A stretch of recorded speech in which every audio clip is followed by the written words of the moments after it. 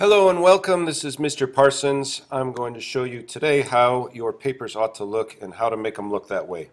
I'm using a Mac right now. Uh, maybe I'll make another one for PC. Anyway, this is what your paper ought to look like.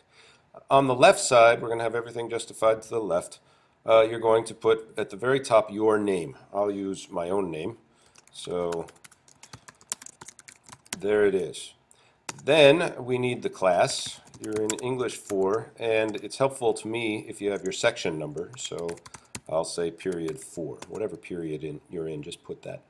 Then uh, you're going to put my name, and at the very end you put the date. Uh, if it happens to be today's date, you can just enter enter, and it does that for you. The next step is to make a header. So I'm going to double click here at the top of the page, and then I can edit the elements up there. So the thing that I'm going to look for is page number. So I just click here on insert page number. It's already on the right side, so I can just type my name here. I moved it. I moved my cursor uh, from the right to the left. Now I can type my last name. And so on every page it'll say my last name plus the page number.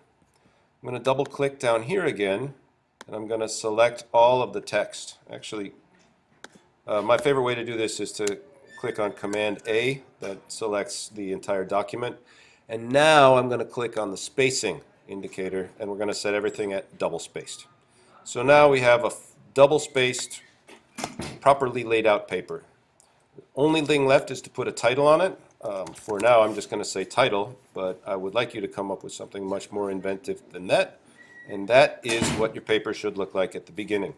Once you've done that, remember to change your justification back to the left, and you can start typing your paper. That's all there is to it. Thanks.